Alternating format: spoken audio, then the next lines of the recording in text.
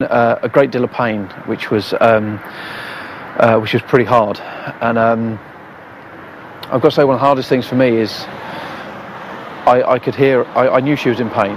Um, she wasn't really that coherent, but uh, I'm in a room and I've got all these people I've never met before telling me to stand in a corner. I couldn't help my own wife who was in, in pain, which that was hard. They just told me I can stay there all night, so I'm going to park this car out of the way so I don't have to leave it in the morning, and um, uh, and get going. So if you don't mind, what if I did lose her? I, I can't. I can't, you know, because I can't think of anything worse than you know. Go on, going to get emotional now. I can't think of anything worse than not than not being with her. I can't. It's just, it's the, the I don't even want to think about it.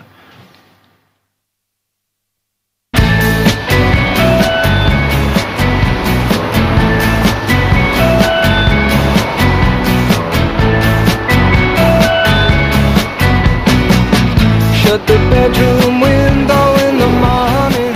Go to the shop. Look better. Look better. It's the next morning, and Karl is at his wife's bedside in her private room. Though seemingly attentive today, Yvette explains that he was rather less so yesterday. You were fiddling with everything last night. Concertinaing me to the bed. You made the bed move. You wedged me in the bed before I went to the operation. You moved the bed so the bed went like, like that and I was sat in the middle of it and I couldn't move. And then decided to sing Johnny Cash songs. But sweetie, it was for comfort. It was a bloody pain in the arse. I wanted you to feel at home. They then discuss if Yvette saw her dead relatives during her operation, as you do. Did I say anything about? Did I say any that I'd seen anyone? You kept coming out with, "I saw my dad," and then you said, "I saw Grandma Mary." And then you said your dad got, Grandma Mary told your dad off for not talking to you and looking at the nurses. I don't remember it. But then you said, you said, Dad's with you now, he's sitting in the chair, and you, you, sort of like looked, you didn't point, but you looked over there to that chair. Did I? Yeah. Oh, why can't I remember it? Oh, bloody hell. Can we just sneak out and go home and take the morphine with us? I want to go home. I want to go home. No, sweetie, I want to take you home. Do you know that great big spot that I had there yesterday? Yeah. Well, it's gone down. What's that about? That's what you need. Anyone who's got spots. This is a good, good um, anaesthetic. well, this is a good tip for teenagers at home. When you've got spots, go and have a hysterectomy.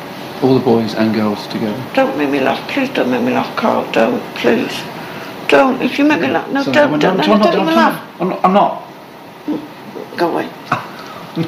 if you make me laugh, I will slap your face. Don't. I'm not trying. I'm not trying to make you laugh. Sorry. Don't, don't even smile. I'm not smiling. Mm-hmm. Ah, no, sorry. don't, don't, I'm not- I'm don't. not- I'm leave the room, leave the room, leave I'm the not- room, leave. I'm not doing.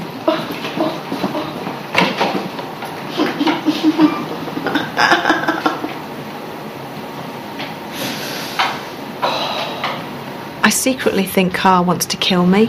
Karl, when the operation had had been finished and I had my stitches and everything, very funny, but inside I would quite happily kill him. See now, we've got the giggles now. I can't look. Don't come in. Don't you dare come in. I'm fine. Okay. I'm fine. A brief period of silence passes, but it is a false dawn of peace for Yvette, as Carl has other more physical activities in mind for her. That's a shame. Will you piss off? Don't make me laugh. Don't make me laugh. Why are you doing that? Stop that. ah! Ah! Ah! Fit- Karl continues with his medical diagnosis that laughter is the best medicine, whether you want it or not. My baby don't Take it off. No. I'm